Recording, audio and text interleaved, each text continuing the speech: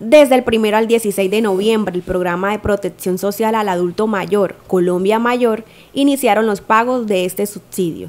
Es importante que tenga en cuenta los requisitos y puntos de pago al momento de reclamar dicho beneficio, el cual es de 80 mil pesos que recibe cada adulto mayor en todos los puntos aliados con su red. El programa busca aumentar la protección a los adultos mayores por medio de la entrega de este subsidio económico para aquellos que se encuentran desamparados y que no cuentan con una pensión o viven en la extrema pobreza.